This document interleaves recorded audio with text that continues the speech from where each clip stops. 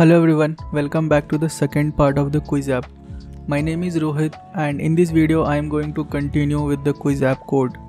If you missed the first video, please check it out first. I will provide the link to that video in the description. Now let's have a quick recap of what we covered in the first video. We set up React Native Expo and Firebase applications, uploaded massive data to the Firestore database, set up stack navigation for the screens, and wrote the code for the home screen.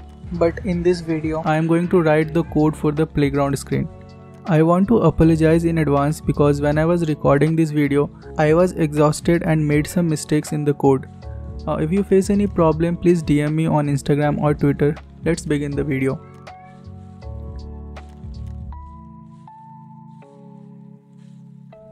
One small announcement guys, my DMs are blowing up with the ambitious developers looking to jumpstart their social career. And guess what? I have got some seriously exciting news for you. I have distilled all my knowledge and the top notch online resources into one epic book. So get ready to level up and seize the day. The link to the book is in the description below. So don't sleep on this opportunity to expand your horizons and crush your goals. The name of the book is From Code to Connections. Let's start by taking a look at the imports at the beginning of the code. We are importing view, text, StyleSheet, flatlist, touchable opacity and alert from the React Native library. We are also importing React, use state, use effect from React and Firebase from config file. These are all necessary for building our quiz app.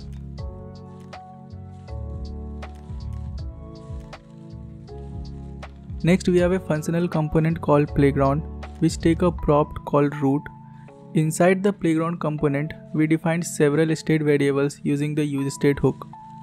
We have a state variable called questions which will store an array of questions. We have a state variable called selected options which will store the options that the user selects for each questions. We have a state variable called score which will keep track of the user's score. Finally, we have a state variable called show results which will determine whether to display the results or not.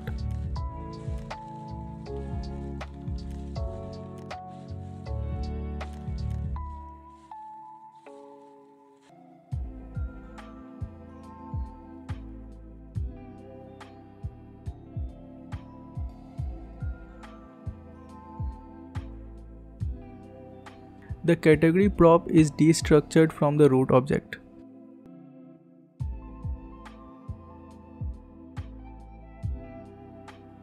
We then use the useEffect hook to call the getQuestions function when the component mounts.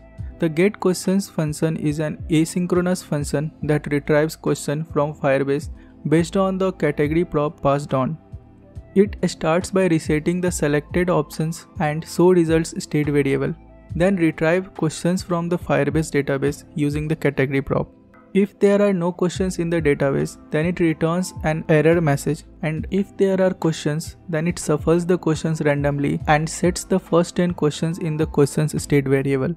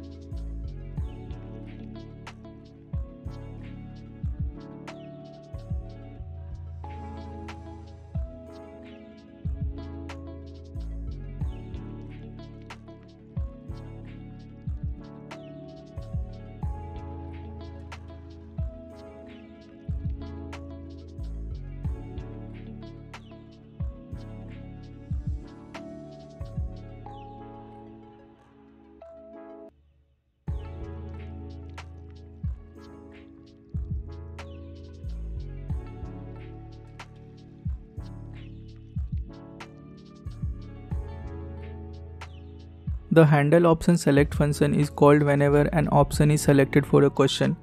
Uh, it takes in the question index and the option selected and updates the selected options state variable to include the selected options for the corresponding question.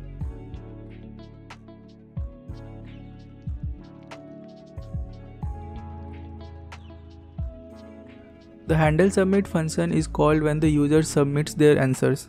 Uh, it loops through each questions and compare the selected options to the correct options for that question. Uh, if the selected options matches the correct option, it increments the correct answers variable. Finally, it sets the score state variable to the number of correct answers and shows the result by setting the show results state variable to true.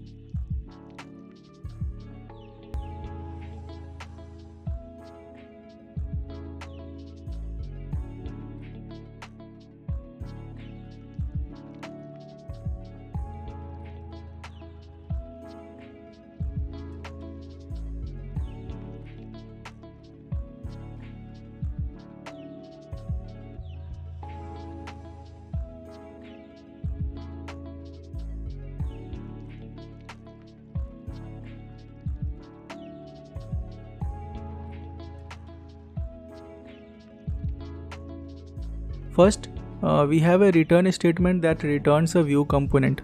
This is the root component that contains all other components that make up the quiz game interface.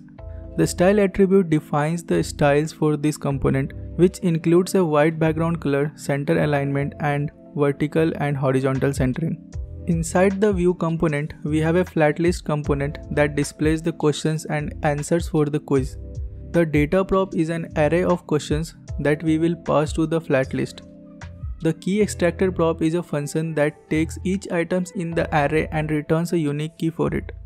In this case, we use the index of each item as the key. The render item prop is a function that takes each item in the array and renders it as a component. In this case, uh, we render a view component that contains the question and answer options.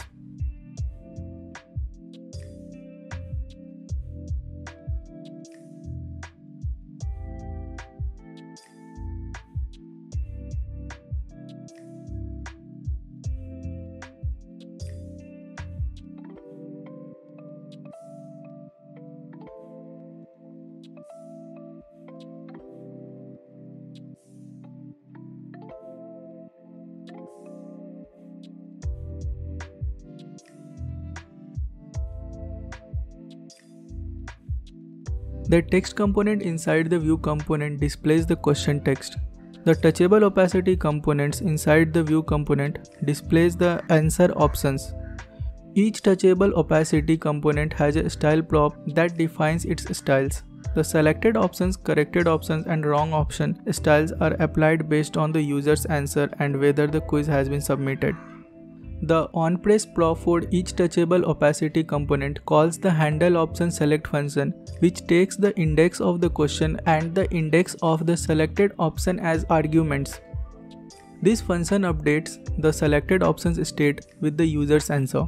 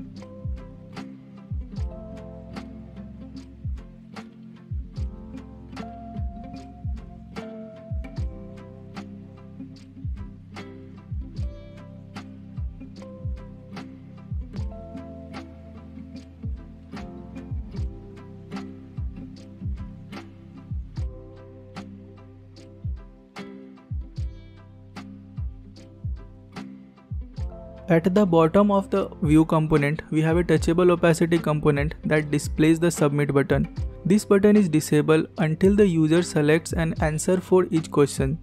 When the user clicks the submit button, the handle submit function is called which checks the user's answer and updates the score state.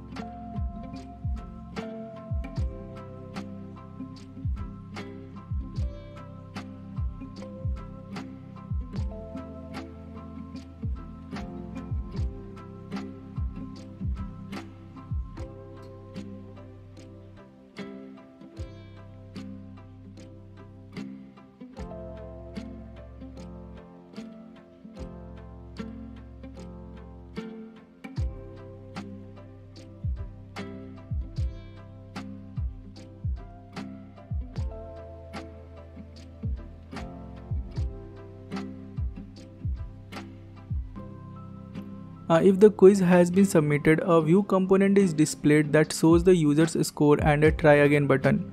The try again button component calls the get questions function when pressed, which resets the quiz and generates new questions.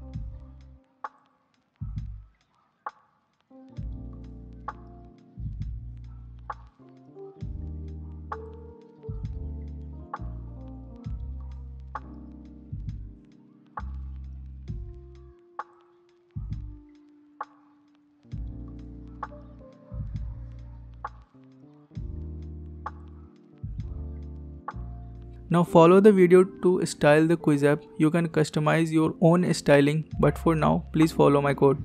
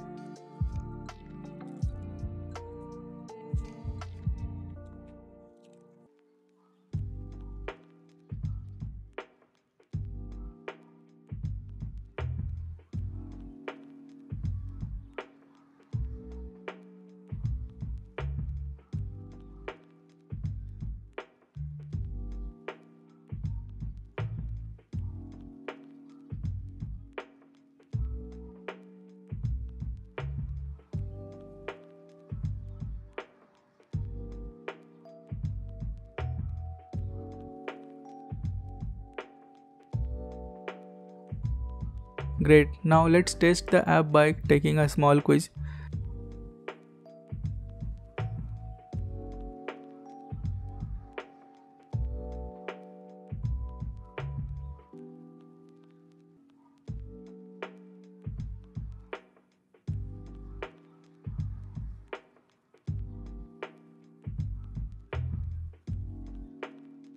The score isn't bad, right? You can see that our quiz app is working fine and the UI looks quite decent. Let me know your thoughts in the comment section. Now that our application is working well, that's all for this video. Please subscribe to support my hard work and I will see you in the next React Native Expo project video.